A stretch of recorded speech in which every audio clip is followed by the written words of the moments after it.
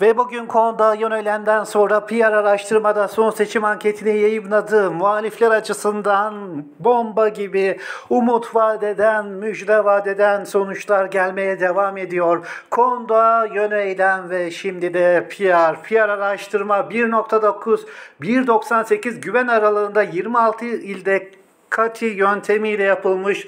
İşte o anketlerde adeta Kılıçdaroğlu'nun Cumhurbaşkanlığını adeta teyit ediyor. AKP'li Cumhurbaşkanı Recep Tayyip Erdoğan 40-45 aralığını geçemiyor demiştik. Bir arada da Erdoğan 45.3'te kalıyor. Bu Türkiye'deki paylaşılan en son anket değerli izleyiciler. Seçime saatler kala sarayda gergin bekleyiş devam ediyor. AKP'li Cumhurbaşkanı Erdoğan'ın son anları Muharrem İnce binde 8 oy alıyor. Muharrem İnce muhalifler tarafından ifşa edildi ve artık muhalefetten oy alamayacak bir pozisyona kadar geldi.